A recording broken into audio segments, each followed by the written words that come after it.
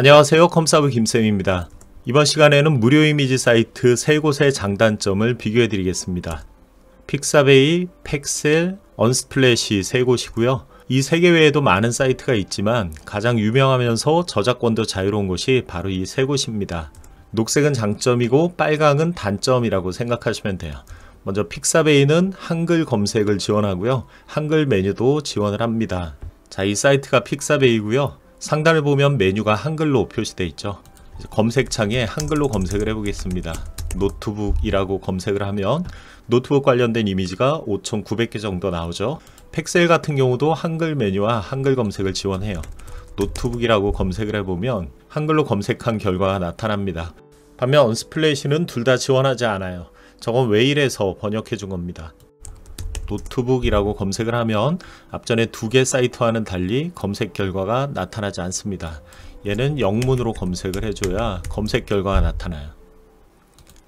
픽사베이는 사진과 동영상 개수가 비교적 많은 편이고요. 동영상, 일러스트, 아이콘도 보유를 하고 있고요. 투명 이미지를 찾기가 수월합니다. 픽사베이에서 색상을 클릭하고 투명함에 체크를 한 후에 이동 버튼을 누르면 배경이 투명한 이미지들만 나타납니다. 클릭을 해보면 배경이 투명한 걸 알 수 있죠. 또 검색창 우측에 있는 이미지를 클릭하면 사진, 벡터, 일러스트, 동영상, 음악 파일, GIF만 별도로 필터링해서 볼 수가 있어요. 또 저작권 확인이 쉬운데요. 이미지를 클릭하면 여기 바로 라이센스가 표시되어 있습니다. 상업적 용도로 사용 가능하고 출처를 밝히지 않아도 된다라고 되어 있죠. 반면에 펙셀 같은 경우는 이미지를 클릭했을 때 라이센스 관련된 내용이 바로 나타나지 않고요. 무료 사용이라고만 적혀 있어요. 더 자세한 내용을 확인하시려면 얘를 클릭해야 되고요. 이렇게 새로운 페이지가 나타나기 때문에 창을 또 닫아야 되는 불편함이 있습니다. 언스플래시 같은 경우도 이미지를 클릭했을 때 저작권이 여기 나타나기는 하지만 언스플래시 라이선스로 무료 사용 가능이라고 되어 있어요. 이건 무슨 얘기냐면 얘네들이 정한 라이센스에 부합할 때만 무료로 사용 가능하다 이 소리예요. 그래서 얘들도 반드시 한 번 더 클릭을 해서 또 확인해 줘야 되는데 얘는 새 창이 뜨지는 않지만 뒤로 다시 돌아가야 하는 번거로움이 있습니다. 픽사베이는 출처나 저작권 표시 없이 사용을 할수 있는데 이건 세 가지 사이트 모두 공통입니다. 또 상업적 용도로 사용이 가능한 것도 세 군데 공통이고요. 픽사베이와 언스플래시 같은 경우는 네이버 블로그에서 바로 불러올 수 있습니다. 네이버 블로그에서 글감을 클릭하면 이런 창이 나타나는데 여기 나타나는 이미지가 바로 픽사베이와 언스플래시예요.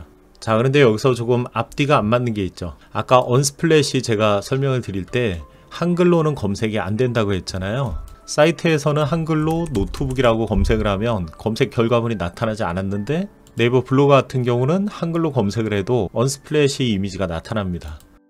그리고 픽사베이는 이전에 봤던 이미지를 찾기가 쉬운데요. 예를 들어 픽사베이에서 노트북이라고 검색을 한 뒤에 제가 이렇게 아래쪽으로 스크롤을 하면 얘는 페이지 방식이라 다음 페이지를 클릭해서 이미지를 볼 수 있어요. 자 이런 식으로 페이지를 쭉 넘어가면서 보다가 아 나는 이 페이지에 있던 이미지를 다시 좀 보고 싶어 할 때는 여기 숫자 1을 넣고 엔터를 치면 이 페이지로 바로 이동이 됩니다. 반면에 펙셀이나 언스플래시 같은 경우는요. 얘를 스크롤해서 계속 보는 방식이기 때문에 이전에 봤던 이미지를 찾아가기 쉽지 않아요. 장단점을 표로 정리해 드릴게요. 일단 녹색은 장점이고요. 빨간색은 단점입니다. 픽사베이 같은 경우는 전부 녹색만 있죠. 펙셀은 녹색도 많지만 빨간색도 군데군데 있습니다. 일러스트 아이콘 투명 이미지를 지원하지 않고 저작권 확인이 불편하고 이전 이미지를 찾기가 어렵습니다. 또 블로그에 불러오기도 되지 않고요.